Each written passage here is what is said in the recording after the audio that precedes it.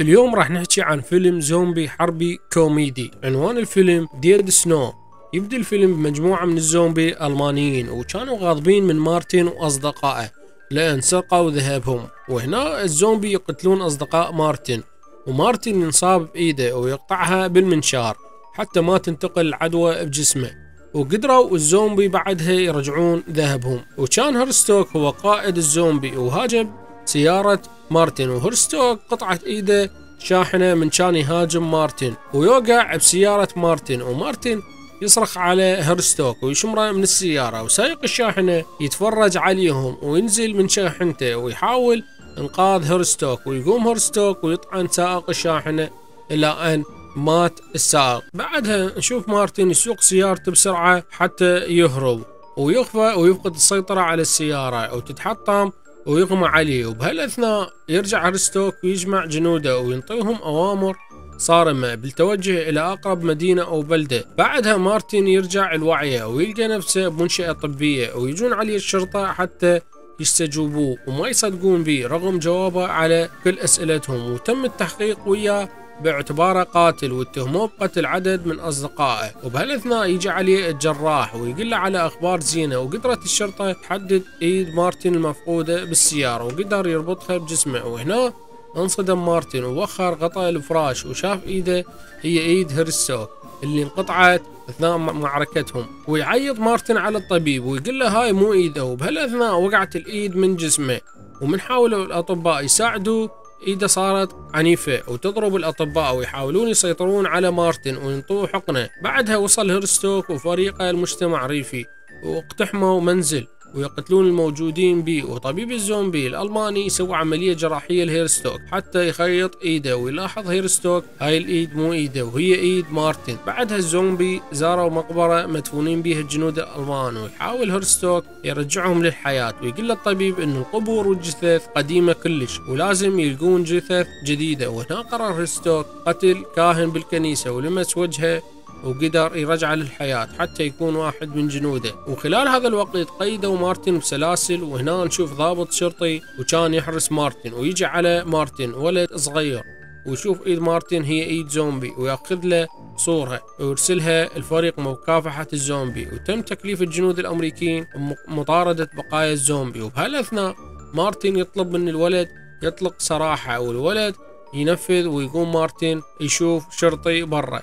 ويحس بنفسه هنا ما راح يقدر ينهزم بس يدفع الطفل وبهالأثناء الطفل يوقع من النافذة وينزل حتى يتأكد من الطفل ويطلع الطفل فاقد وعيه ويحاول مارتن يصحي الطفل ويضغط على صدره لكن يسحق أعضاءه وعظامه تتكسر بسبب قوة إيده مال الزومبي ويشوفه ضابط الشرطة ويبدي يشك بمارتن هو المسؤول عن موت الطفل ويروح مارتن ويروح الضابط وراها وفجأة إيد مارتين تغير شكلها وتسوي أشياء غريبة وشلعت علامة السيارة وشمرها براس الضابط وسبب له إصابة خطيرة.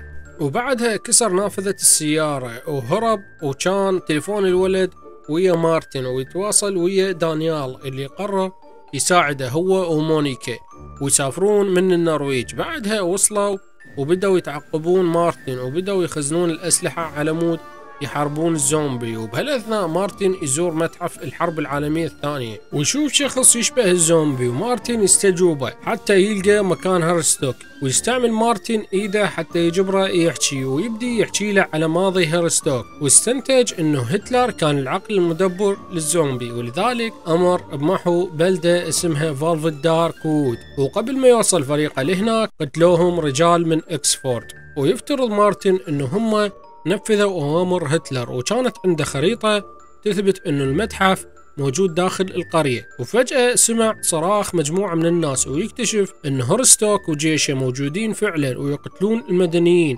حتى يصيرون جنود منهم. وكانوا يلزمون الرجل ويطلعون كل أعضائه.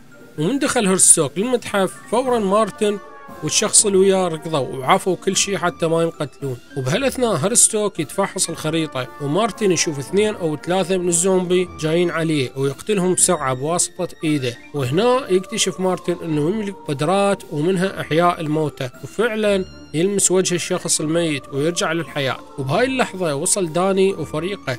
وهنا مارتن أظهر قوة إيده ورجع الرجل للحياة مرة ثانية. وداني من شاف هيج قرر يسوي جيش لمحاربة الزومبي. وخلال هذا الوقت هرستوك وجيشه من الزومبي.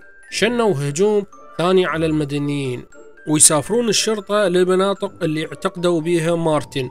نفذ عمليات القتل. وكانت قوات هرستوك تعتمد على خريطة هتلر ومتجهين للقرية. وبهالأثناء داني يرسل مونيكا حتى يراقبون هرستوك وجيشه اللي كانوا يقدمون بدباباتهم. وقتلوا السكان المحليين. وكانوا مونيكا وبليك يتمتعون بذكاء ولازم يروح واحد منهم وياخذ زومبي الهم والمهمة الثانية كانت هي قصف الزومبي وراح يحتاجون شخص شجاع. واختاروا الكاتب حتى يروح لهرستوك وجمعته. وهنا راح لهم الكاتب ويحاول هرستوك يقول الجيشه ما يركضون وراه.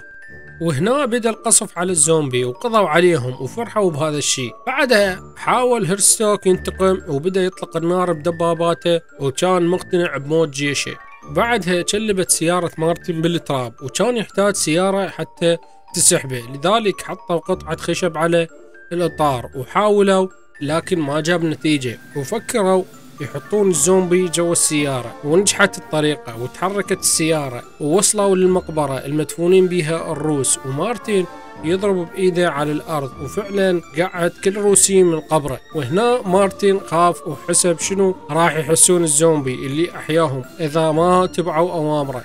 وبهالأثناء واحد من الزومبي الروس اجى على مارتن وبقى مارتن يرجف وقلق وكان الزومبي طويل كلش. لكن الزومبي الروس كانوا ينظرون لمارتن كقائد إلهم وهذا الشيء يسعد مارتن. بعدها تقدم هيرستوك وفريقه. وهسه نشوف مارتن وفريقه واقفين لهم. وهنا وقع حلق هيرستوك من شاف المنظر وعدد الزومبي الروس ويا مارتن. وتقدموا جيشين ويا بعضهم وبدأوا يتقاتلون.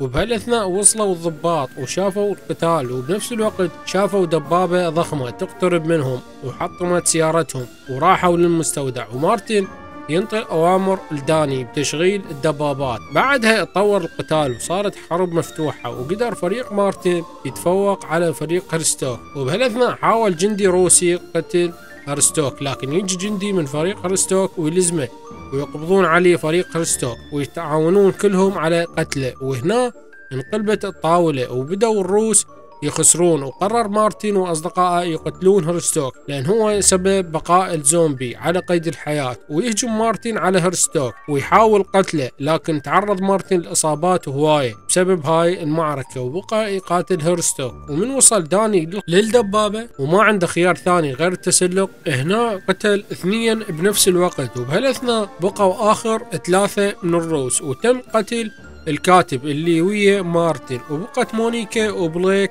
محاصرين وبهالاثناء وقع مارتن على سيارة أثناء قتاله ويا هرستوك. وهرستوك حاول يقتل مارتن لكن داني وجه مدفع الدبابة على هرستوك وأطلق النار وانفجر رأس هرستوك ومات. وماتوا فريق هرستوك من الزومبي.